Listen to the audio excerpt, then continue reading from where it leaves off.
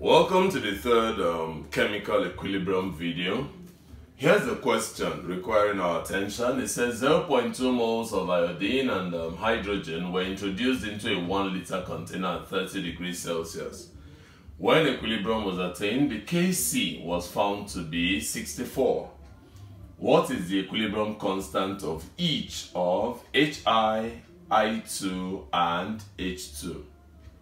Now to solve a question like this, the first step would be to write the equation of reaction which is H2 plus I2 to give 2HI. So this is the um, equilibrium or reaction. This is the equation for the reaction.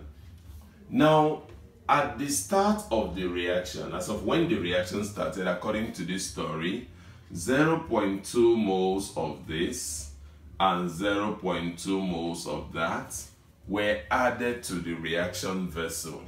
So there was none of this. And so I'm going to call the quantity of this present 0 moles. As the reaction proceeded, what happened? Some H combined with some I to form HI. What quantity of H and one quantity of I reacted, we don't know. We don't know the quantities that reacted. But what we would know for sure is one, whatever quantities of these guys would react would definitely be less than 0.2. All of them would not react, else there will not be anything like reversibility. So whatever amount of these two guys reacted will be less than 0.2. And then second, we know from the stoichiometry here that the quantity of H used up will be the quantity of I2 used up and the quantity of HI produced will be twice the quantity of any of these because is 1 ratio 1 ratio 2.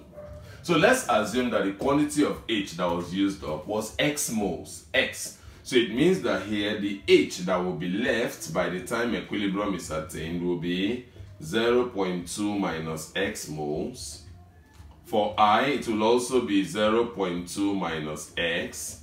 Then for the HI, there was none before, so 2x will appear from the x and x, like 1 and 1 used here to produce 2. So 2x of that will be produced.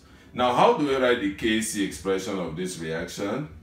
The Kc will be HI squared over H2 into I2 concentrations. So I'm going to bring these the equilibrium concentrations up here. So that I'll say Kc, which is 64, is equal to 2x all squared. So that's HI concentration squared over 0 0.2 minus x into 0 0.2 minus x.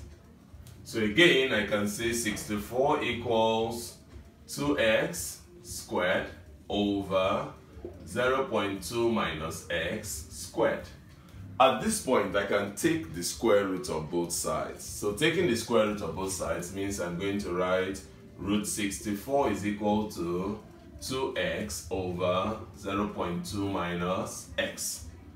Root 64 is 8. So this becomes 8 into 0.2 minus x equals 2x.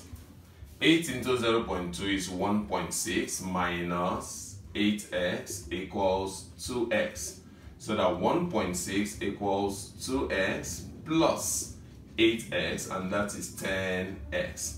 So that x is finally 1.6 divided 10 and that gives me 0.16.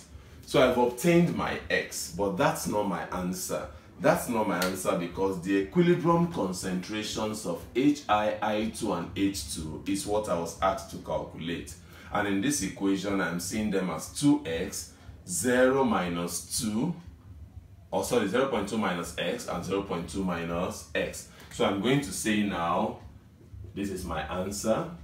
At equilibrium, concentration of HI equals 2x, which is 2 times 0.16 and that's 0.32 then the equilibrium concentration of um, I2 will be equal to 0.2 minus x which is 0.2 minus 0.16 and that's 0.04 moles per dm cube. And finally for H2 its concentration will be 0.2 minus x which is 0.2 minus 0.16 and that is 0.04 molar.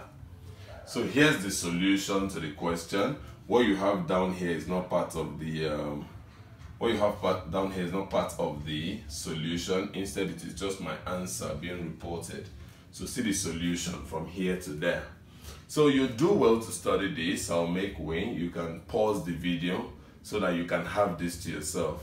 Do well to study it, study more questions on chemical equilibrium, and um, feel free to comment.